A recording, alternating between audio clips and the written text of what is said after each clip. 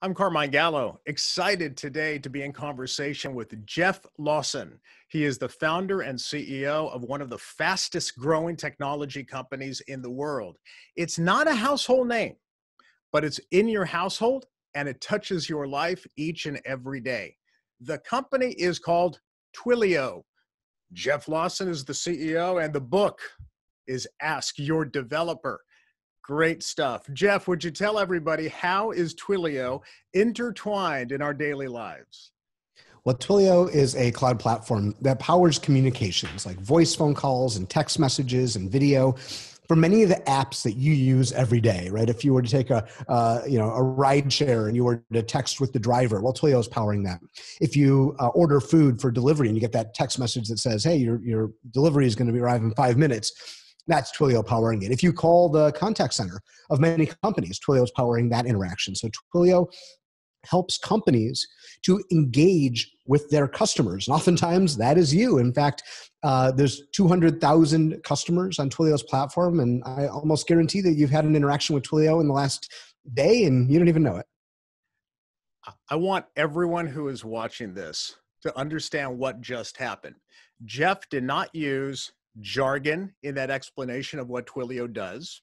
He did not use very technical language, even though Twilio is an enormously complex technology. Jeff, where did you pick up your communication skills?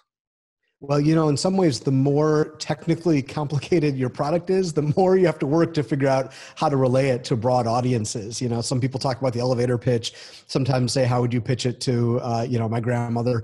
And uh, those are various ways I've thought about it. But, you know, ultimately, it's about connecting what you're saying to the reference point of view that your your listener has right and you have to start where they are and then bring them on a journey and yeah look when your product is technical you, you have to work harder at it but I've, that's the that's the uh, the basis that I always use to uh, try to communicate. One of the books that I always really liked along these lines is uh, "Start with Why."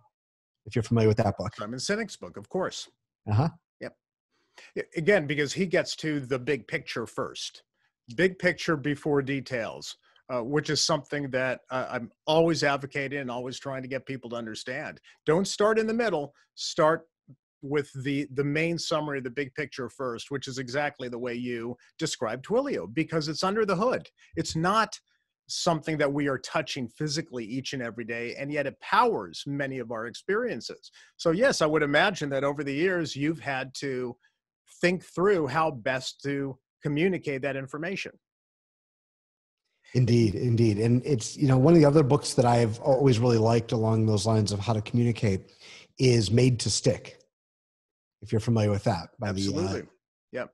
Yeah. I wrote the first book on how Steve Jobs gave presentations. It's called The Presentation Secrets of Steve Jobs. And I think to this day, Steve Jobs is still one of the, the greatest business storytellers of our time you know storytelling is really the is the one of the main tools humanity has used forever to be able to relay information. That's why we are so we're wired to want to hear a story. Like if you think about the the mystery like why all those clickbait headlines? Like the you know the five things you need to do to have better breath? It's like you know it's like it's a mystery. What are the five things? That's why we're so compelled to click on it. It's basically a miniature story.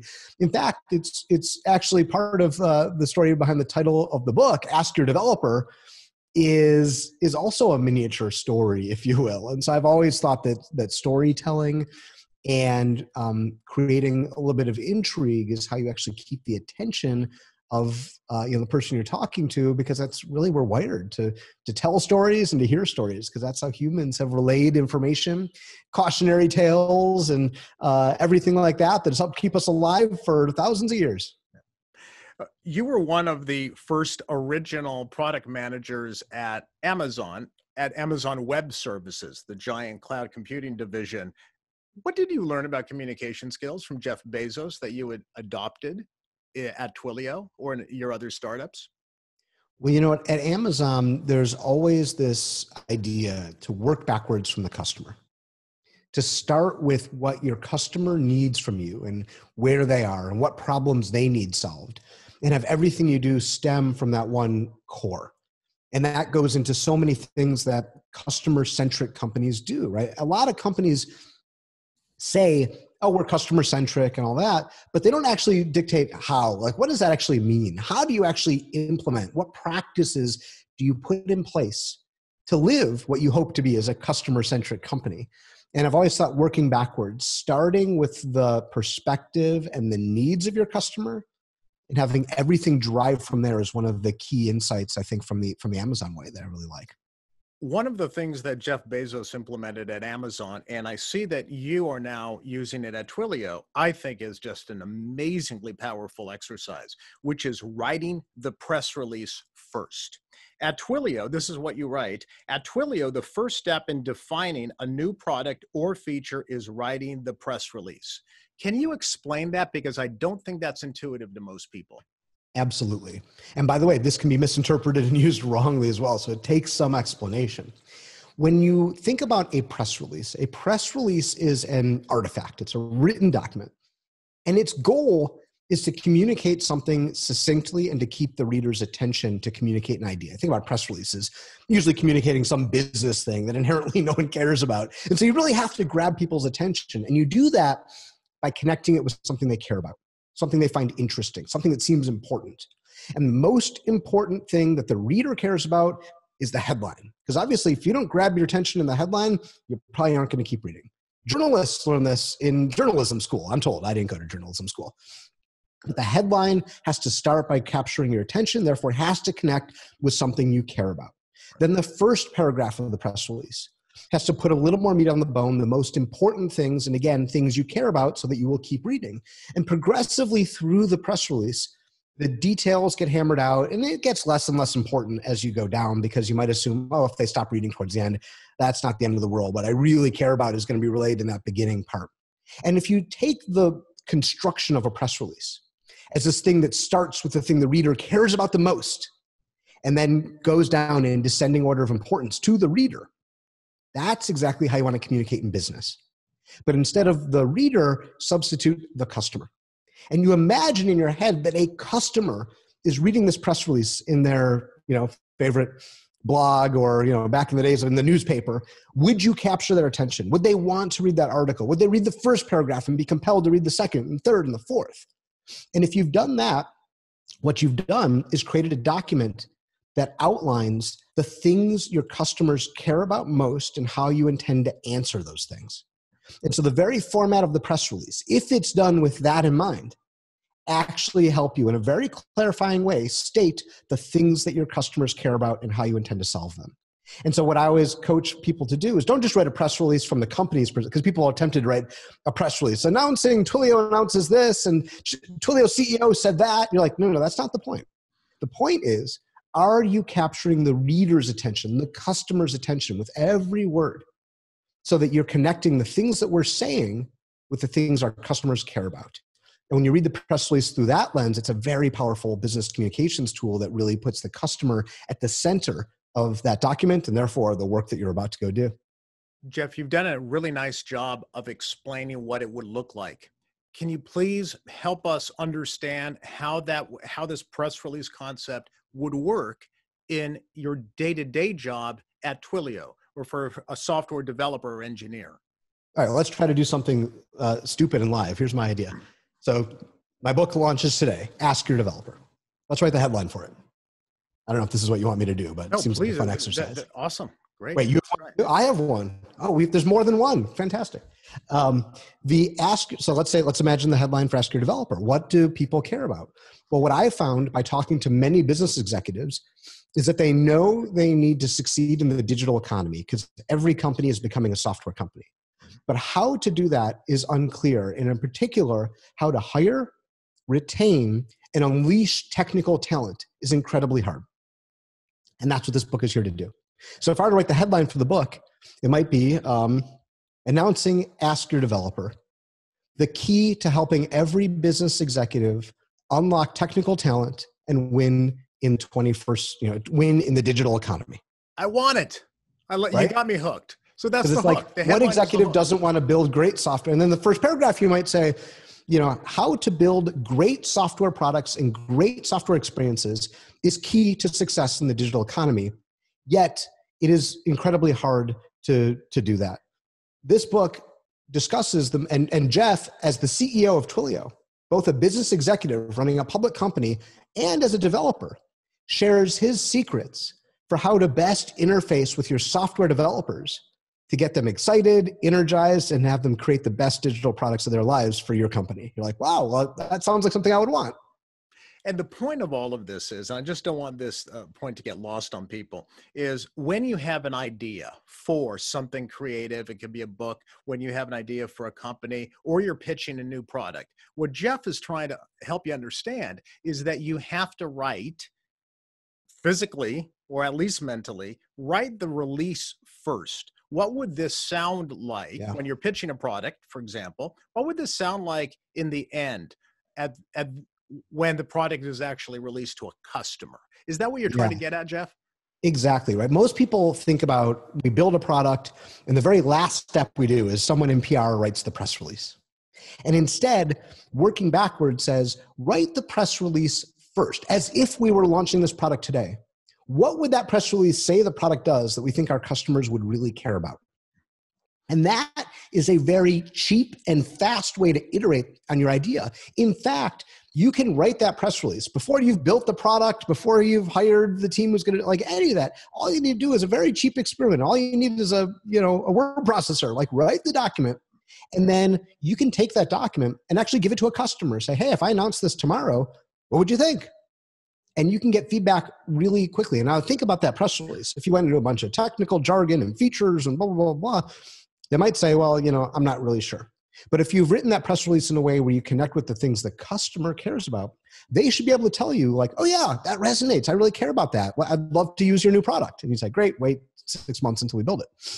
But if they say, ah, you know, I don't know, that really doesn't seem to matter to me, then you know that you're not on the right track. And so it's a very cheap and fast and inexpensive way to learn from your customers without actually doing it. And so inside of Twilio, I think this is what you were asking earlier, inside of Twilio, what we do a lot at the onset of a project, we ask the team to go write the press release for the product they're building. Hmm. And then we can review it. And when we talk about it, you say, why does the customer care about this? Why does the customer care about that? Isn't this, this seems more important than that. Why is this in the seventh paragraph and that's in the first? And you, through this process of discussing this very inexpensive and easy to write artifact, you're trying to narrow in, zero in on the things the customers care about the most. And when you do that process very cheaply, very quickly with a you know, press release document that's like less than a page long, it's very easy to write. You are iterating on the idea. And then I would say you want to put it in front of customers too and say, hey, are we on the right track? And the whole point of the exercise is to put the customer's needs first, to document it in a way that's really easy to consume and to iterate on the hypotheses of which things your customers care about early in the product, not at the end. Jeff, you have brought up a very important point that we do need to discuss, and this applies to every aspiring leader, young entrepreneur, or recent college grad of any in any field, but especially in technical fields. In your book, you quote software developers who say there is a common misconception that when you get hired as an engineer, it's just to write code. But communication is a huge aspect of the job. Jeff, I don't think people understand that your ability to present, to speak, to write are valuable skills in your career. Absolutely. I mean, we're human beings, right? The way we get anything done is by communicating with each other. And so, um, and that goes for for developers too. In fact, in many ways, what I am trying to do with the ask your developer mindset is to create a common parlance for the business side and the technical side to communicate. Because you know both sides you know in general like they have the ability to communicate. They're human beings. They you know they are they're part of our species. They've had to communicate. However they often speak different languages you know, think about the business side. We talk about EBITDA, we talk about market share, we talk about you know all these sort of things, right? And developers, what do they talk about? They talk about you know algorithms and programming language, and blah, blah, blah. And it's easy to think like, oh yeah, we like those people don't know anything or don't care about the other person's stuff. It's just well, it's gonna be a little bit of a different language. But the interesting thing is that both sides, the business folks and the technical folks, are extremely aligned in what they want to accomplish both want to build amazing digital products and experiences that delight customers, get millions or billions of people using those products, and ultimately make money for the company. Like we're very aligned. And so the book tries to cross the, you know, bridge that gap and explain from my perspective as a developer, what are the things that I care about and I think about and are, are, in the back of my head that can really be brought to bear in building the business if business leaders seek my input or come to me uh, and bring me into those conversations because so many companies and so many executives i think you know if you watch popular culture and you see the, the depiction of developers as math nerds and geeks who are more comfortable with quadratic equations than they are with human beings you would think that okay great like you know i should treat them that way. Like you know steve urkel or my favorite dennis nedry from jurassic park right? Like you know these people who just want to be left alone and don't want to talk to anyone. And if you believe that then what are you prone to do as a business person you're prone to say, okay, well, it's our job as the business people to define the strategy, to go do the customer research, to write the specifications doc, and hand that to the developers. And you'd be led to believe that if you just fed specifications docs and Mountain Dew into one end of this machine, the, out the other end comes code and everything is good. But the reality is that developers are full human beings. They're creative problem solvers. And the very same skills that go into solving a problem creatively with code can be brought to solve really hard business problems or hard customer problems. And so, one of the biggest things that I advocate for how to bridge that gap between the two ways of thinking and the two like languages that people speak is to share problems with those developers, not solutions. Think about a requirements document. That's a solution. You're saying, go build this. Instead of doing that, share the problem. What's the business problem you're trying to solve? And if you communicate that really well, you can actually unleash your technical talent to come up with solutions you may not have heard of, to find a shorter path to solving those problems. And the end result of unleashing that technical talent to solve problems, not just solutions, is that you get better software that's written faster, that solves your customer problems better. And what executive doesn't want those things? You focus a great deal on how executives should be recruiting, hiring, and, and motivating technical talent. All of that comes down to how they communicate. Like you just said, communicate the problem first because developers want mastery, they want autonomy, they want to live a life of purpose, they want to solve problems. And so, really ask your developer this isn't just for developers if you want a career in software development. To me, this is a real leadership management book. Uh, I love the whole chapter here you have about mission statements and why the mission is so important to articulate in a way that is easy to remember and devoid of jargon. Uh, well, I don't want to put you on the spot, Jeff, but what's Twilio's mission statement? And how is it easy to remember and devoid of jargon? Our mission statement is short and simple. We are here to fuel the future of communications. And communications is sort of obvious. That's what human beings do. That's what we enable our customers to do better as companies. We let them engage with their customers. And fuel speaks to the fact that we're a company that provides the infrastructure that enables our customers to go build all the things that they want to do. And so, as an infrastructure provider, we see ourselves as the fuel to their fire. Now, we could have said be the infrastructure that blah blah blah, but we thought that fuel is gives a sense of uh, you know it's aspirational. Yeah, it's it feels big, it feels purposeful. And so crafting those words, you both want to relay the message, but also, you know, make the, the reader feel something. And I think that's the combination. You know, one of the stories that I relay in the book, because um, I hear from executives all the time about how, how do I, like, we don't have a lot of developers. We don't have any developers. How do we go about hiring them? You know, we're like an old school company. Mm-hmm. And, you know, my answer to them is, well, what an amazing opportunity for those developers to be a big fish in a small pond to really affect the trajectory of your organization. And I tell the story of Patrick Doyle, the CEO of Domino's Pizza. And Domino's Pizza is one of these sleeper success stories of the last decade. This is rarely known. It's kind of funny. But if you look at their stock chart for the past decade, it outperforms many of the major tech companies. That's because Domino's went from being a pizza chain to being a tech company. And it happened pretty quietly under everyone's noses. And Patrick Doyle, the CEO, started that process by recruiting a technical leader. And basically, his pitch to the technical leader was this You are going to help me transform Domino's, not just from a pizza chain, but into the leading, not just delivery, but, rapid service food provider of, uh, I'm kind of making this up now. so the words are going to be bad. You're going to help me transform Domino's into a technology company mm-hmm. that is, you know, delivering basically everything to customers that makes them that, fills their bellies, right? thanks and, for reminding me. I remember the story. It's a good. Yeah, story. and the technical leader, uh, a guy named Kevin, who was hired. Um, you know, I talked to him for the book, and they're a customer of Twilio's. I talked to him, and he said, you know, I went into the meeting. I wasn't really thinking I was going to go work at Domino's. I kind of took the meeting as a favor, right? And he walked out incredibly inspired and said, wow, imagine the impact I can have by transforming Domino's and making the experience of ordering a pizza as easy as you know hailing a, a car with Uber or Lyft, right? Wow. And that was a decade long mission that he and his team then went down to transform the experience of Domino's. And I love that story because it shows how if you instill this sense of mission and this sense of purpose, any company can hire amazing technical talent because they have the opportunity to truly impact the organization. And that's why what we've just been talking about is leadership communication. Communication and successful leadership and, and the growing of a brand are all intertwined. They all come together. Jeff, that's why I'm so in, inspired um, by your work. You're a very good writer and a good speaker and a good communicator. Uh, either you have a creative background um, or you've thought a lot about this.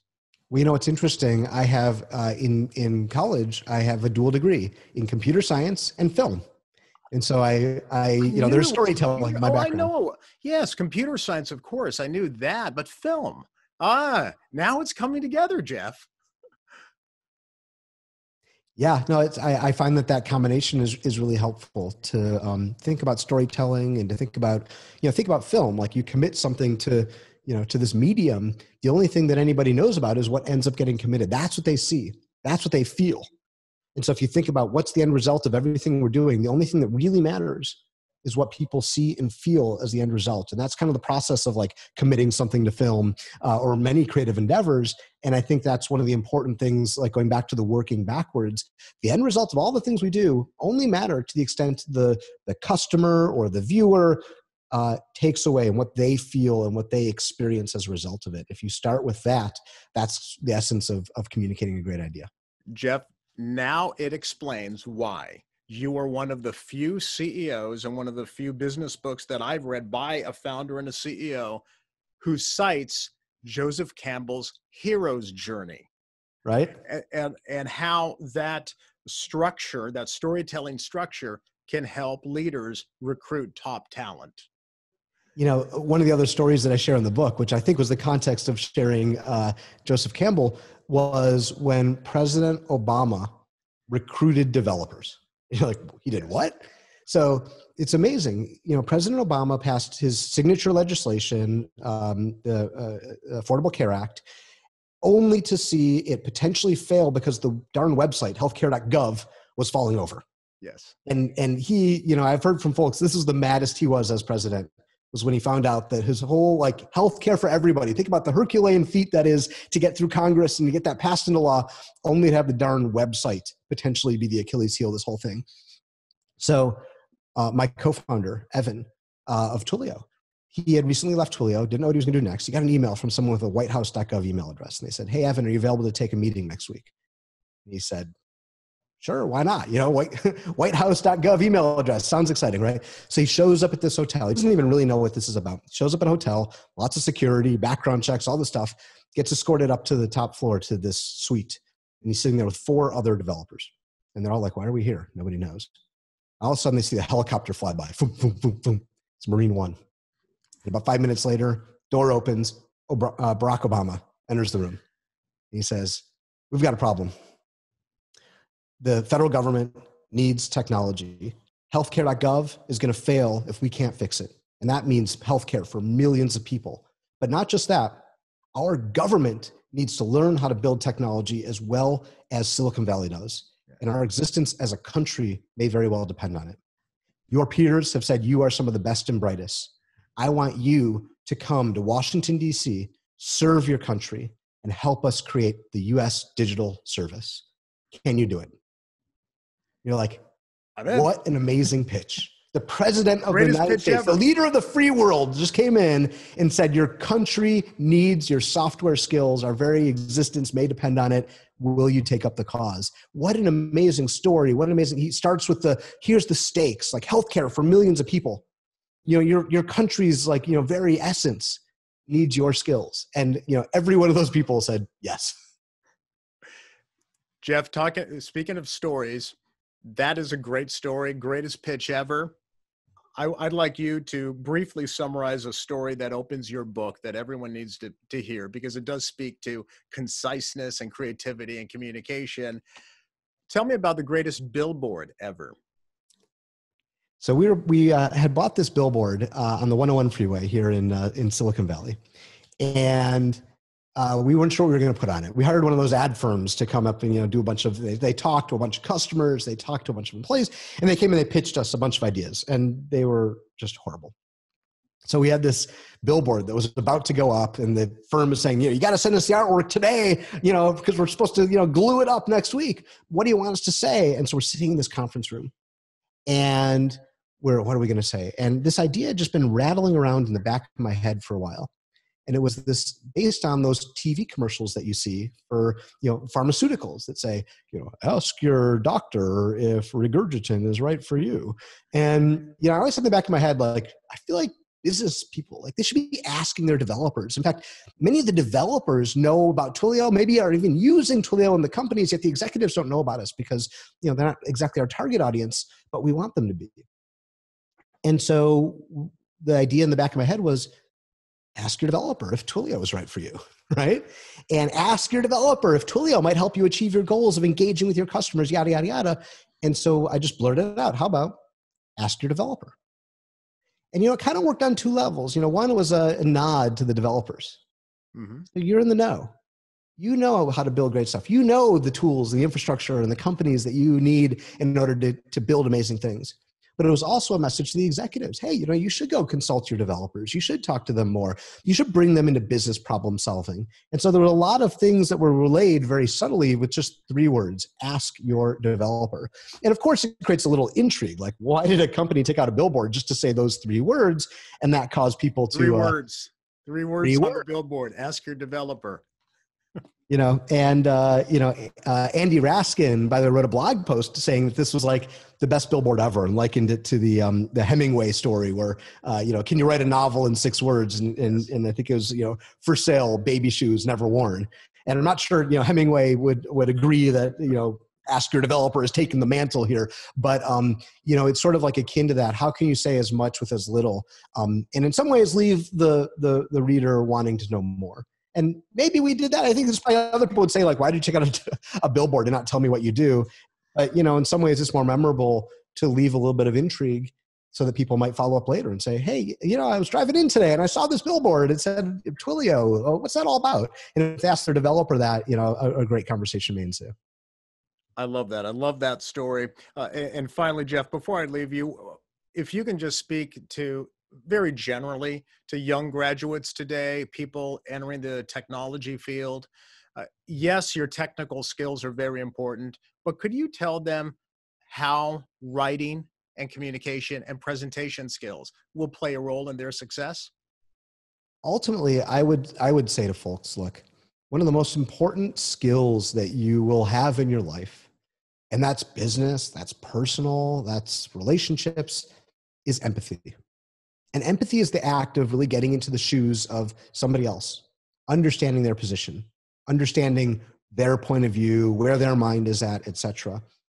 And the more you can get in the habit of trying to understand the other person and then tailor what you say and how you say it to bring another person into what you're trying to communicate with them, that is such a core skill. And that goes for business, talking to customers, writing a, a press release, but also goes for, you know, your partner in life or anything like that. And so invest in trying to understand empathy and start by thinking about the other person and listening to them before you speak. And one of my favorite, you know, quotes that's out there is, you know, God gave us two ears and one mouth, so use them in that proportion. Jeff Lawson, thank you. Congratulations on Ask Your Developer.